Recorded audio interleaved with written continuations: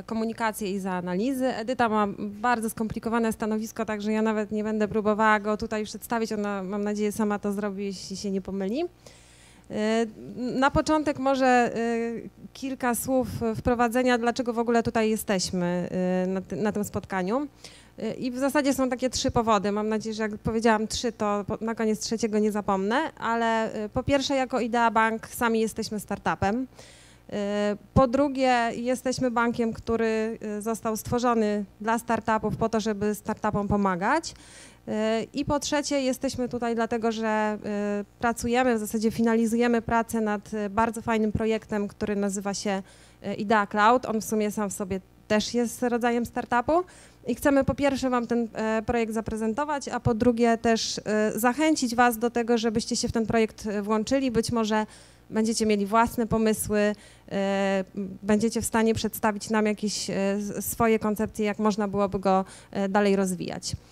I teraz mm, może na, na jeszcze kilka słów wprowadzenia. Mówiłam o tym, że jesteśmy startupem, jesteśmy bankiem, który w zasadzie został stworzony przez trzy osoby, tak przypominam was nazwiska wymienić, czyli Arka Augustyniaka, Dominika Fajbusiewicza i Darka Makosza. To są osoby, które właśnie w tym naszym segmencie finansowym, w którym my działamy, uchodzą za e, takie osoby od startupów.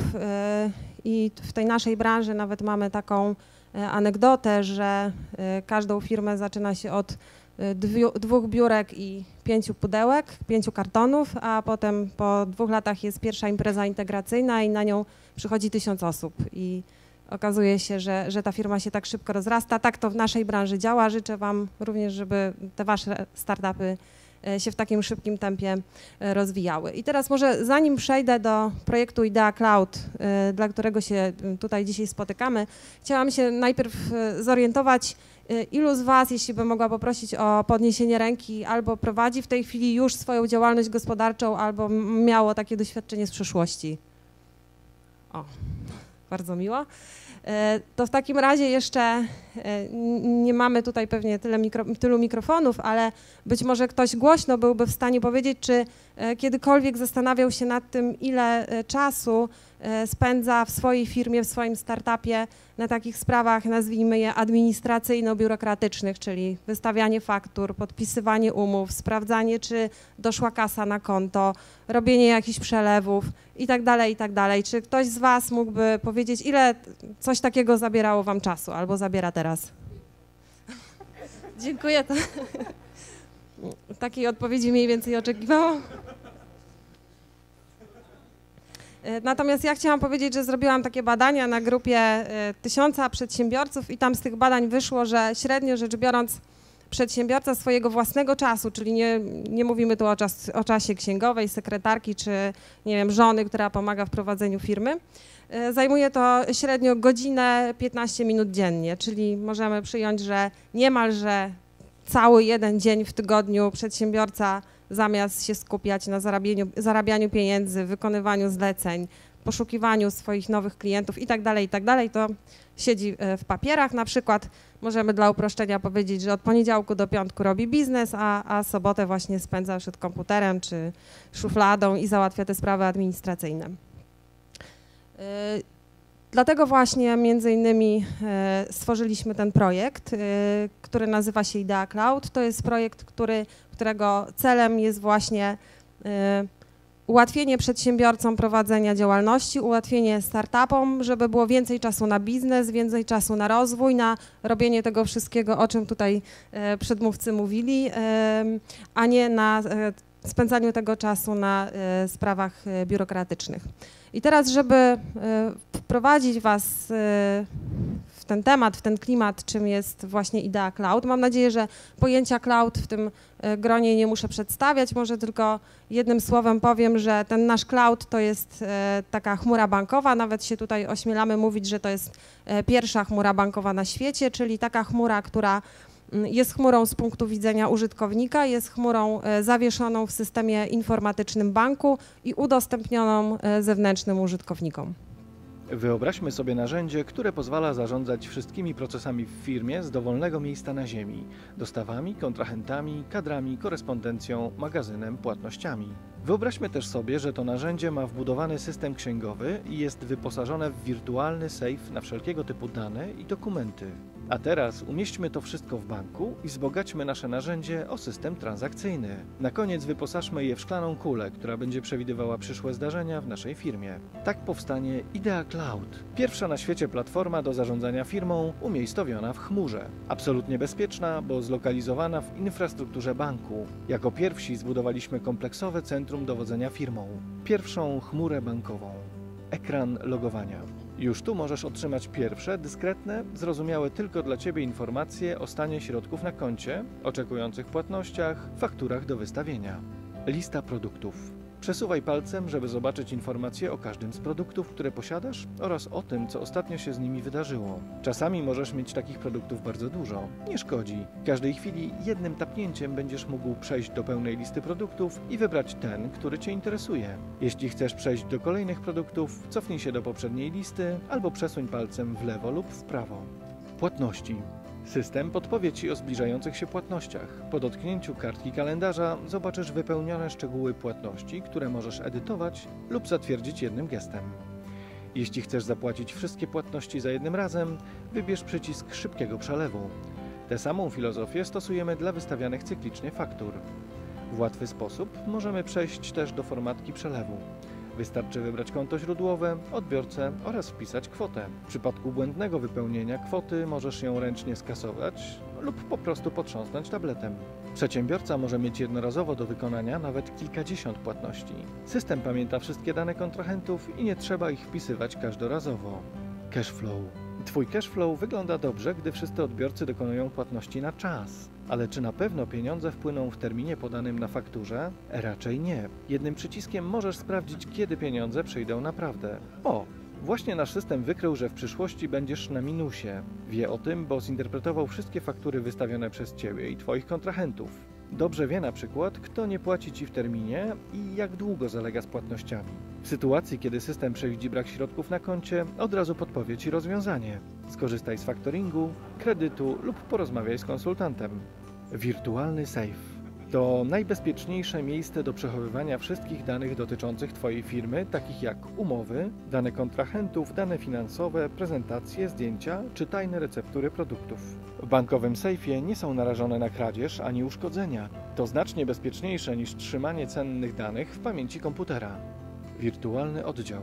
Łącząc się z konsultantem, możesz porozmawiać o opcjach wcześniejszego uzyskania pieniędzy za przeterminowane faktury czy uzyskania kredytu.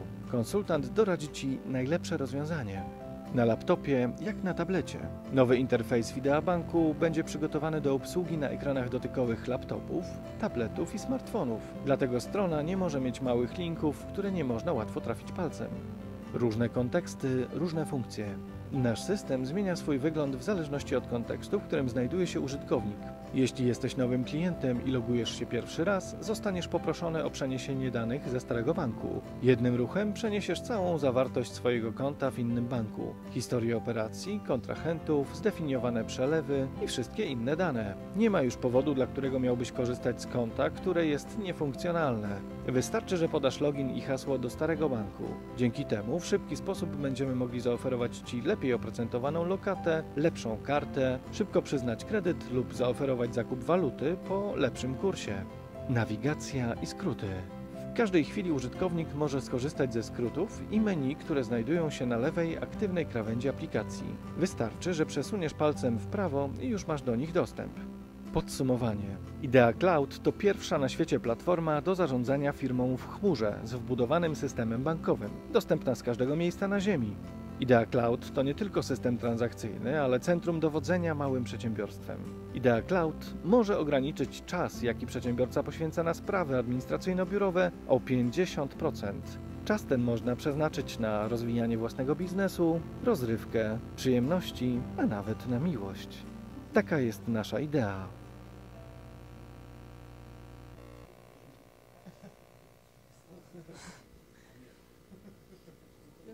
To mm, wszystko już je- jest jasne. Ja tylko tutaj komentując te różne y, komentarze, które się pojawiły w trakcie. Chciałam powiedzieć, że ostatnio rozmawiałam z, ze znajomą, która prowadzi y, trzy firmy z branży modowej. Y, rozmawiałyśmy gdzieś mniej więcej miesiąc temu, czyli to była końcówka lutego i ona mi wtedy powiedziała, że nie ma zapłaconej do tej pory słownie ani jednej faktury z grudnia ani jednej, a była końcówka lutego, czyli myślę, że sądząc też po głosach z sali, to mniej więcej oddaje tę sytuację płynności małych firm, z jaką mamy e, do czynienia w Polsce. Teraz e, oddaję głos Edycie, ona e, powie jeszcze kilka szczegółów dotyczących tego projektu, a ja na koniec jeszcze powiem, jak chcielibyśmy Was w ten projekt włączyć. Cześć, jestem Edyta. Kasia nie potrafiła powiedzieć mojego stanowiska, natomiast jest to dosyć mało ważne. E, natomiast e, to, co robię, to właściwie nadzoruję ten projekt i na co dzień tak naprawdę zajmuję się wszystkimi projektami, które są tworzone w Ideabanku. E, czerpię z tego niezły fan, jak i cały zespół, który tak naprawdę realizuje tego typu projekty. Tak naprawdę Kasia wszystko powiedziała we wstępie, a także film, który został Wam przedstawiony również. E, natomiast powiem Wam, czym się kierowaliśmy, tak? Od strony tak naprawdę tworzenia całości rozwiązania. E, tak naprawdę zajmowaliśmy się tym, żeby sprawdzić, co utrudnia i co jest przyczyną tego, że polski przedsiębiorca ma trudności w prowadzeniu swojego biznesu, tak? Ta ciągła biurokracja, nie wiem, masa, wystawian masa wystawianych dokumentów, jest to tak naprawdę, czyli no bardzo to utrudnia. I tutaj quiz. Kasia zaczęła quizy, no to może ja pociągnę. Nagrody są tam na stoliku. e, jak myślicie, ile ro... so, so. Monika ma więcej toreb. Spokojnie. jak myślicie, ile rocznie w Polsce jest wystawianych faktur? Wpytę? Nie no, strzelajcie. Sporo nagród jest, więc rocznie, rocznie w Polsce. Bierzemy pod uwagę tylko Polskę. O, ktoś przeczytał. No rozumiem, że Google, tak, wpisujemy ile. Dokładnie, nagroda dla kolegi. E, dokładnie Teraz półtora... Ile, ile, to jest średnio na jedną firmę działającą w Polsce o. z utrudnieniem? Trzeba wiedzieć.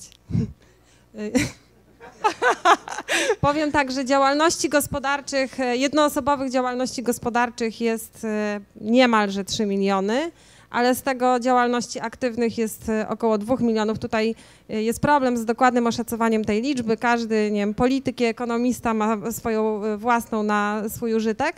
Natomiast to jest około 2 milionów, czyli możemy średnio przyjąć, że jakieś 60 kilka faktur wystawia jedna firma, ale to jest pewnie średnia rocznie. Nie, miesięcznie, miesięcznie. To jest y, uśrednienie, więc będą firmy, które będą ich miały więcej i będą firmy, które ich będą miały znacznie mniej. Dobra, Kasia... Też takie, które wystawiają jedną. Kasia wam wcześniej powiedziała, że przeciętny przedsiębiorca też traci jeden dzień w tygodniu na ogarnięcie swoich czynności księgowych. I szczerze powiedziawszy, co powiecie na to, wy tak naprawdę przedsiębiorcy bądź przy, przyszli przedsiębiorcy na to, aby Idea Bank oddała wam wolne soboty. Tak jak końcówka tej prezentacji było, żeby była czas na rozrywkę, na przyjemności, na miłość. E, szczerze powiedziawszy, nic, nic prostszego, e, ponieważ cały system składa się z kilku modułów. Jeden moduł, który został zaprezentowany na filmie, e, to coś nie działa. Mamy problemy. O. Pierwszy moduł, y, który był już zaprezentowany na filmie, to centrum księgowe. Skupiliśmy się głównie na tym, aby ten przeciętny przedsiębiorca, który miesięcznie wystawia 60 faktur, mógł to zrobić w bardzo łatwy, prosty sposób, mógł mieć szybki dostęp do archiwum dokumentów y, i szczerze powiedziawszy, tym, tym głównie się kierowaliśmy. Zastanówmy się teraz, tak naprawdę ile czynności, nie przyjmuję odpowiedzi w pytę, ile czynności musi wykonać ten przedsiębiorca, ten biedny przedsiębiorca, żeby opłacić fakturę. Strzelajcie, kolejny quiz. Okej, okay, znowu Google? Ale pod, podpowiedź nie w miliardach już jest tym razem. Dokładnie, może sobie tak przejdźmy krokowo. W pierwszej kolejności biorę tą fakturę do ręki. Jeden. Następnie sprawdzam, czy, nie wiem, usługa, czy też towar jest zgodny z zamówieniem. Mamy dwa. Następnie biorę system księgowy, wklepuję tą fakturę, tak?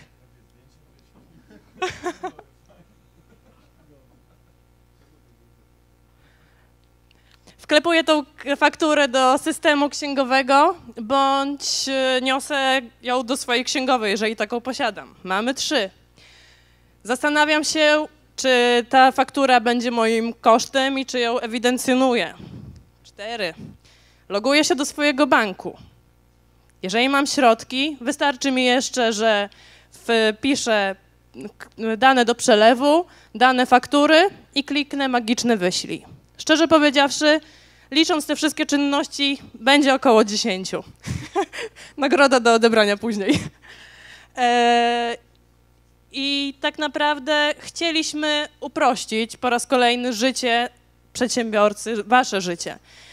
Otóż, tak jak pokazywał film, opłacenie faktury, zrobienie płatności w systemie może się odbyć za pomocą jednego kliknięcia w systemie.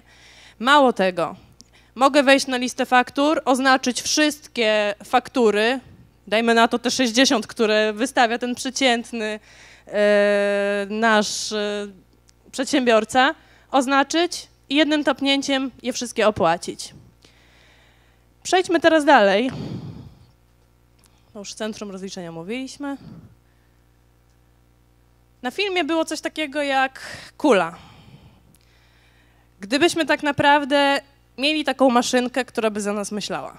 W sensie przypominała i myślała, co, nie wiem, za co muszę zapłacić, że warto by było kupić kwiaty dziewczynie, e, żeby znów nie zapomnieć o urodzinach. E, dla przedsiębiorcy może mało ważne, ale fajnie, żeby żona była za, zadowolona, jak wrócę.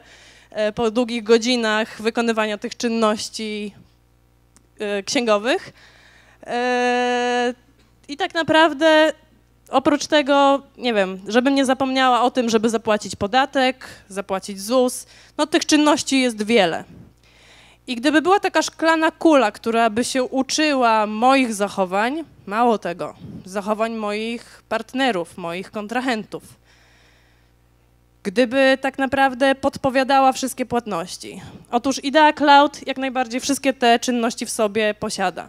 Dobra, to podsumowując, chcemy Wam udostępnić e, ultra, tak naprawdę nowoczesną bankowość, która będzie jednym wielkim centrum do zarządzania swoją firmą. Jednocześnie e, tak naprawdę pozwoli Wam w łatwy sposób przenieść wszystkie e, dotychczas płatności, które realizujecie w innych bankach, wszystkie zlecenia stałe, zdefiniowanych kontrahentów, za pomocą jednego kliknięcia przy, przy pierwszym logowaniu. Oprócz tego y, pozwalamy Wam na zachowywanie dokumentów w obrębie tej bankowości. Y, I tak naprawdę myślę, że na tym będziemy kończyć. Kasiu?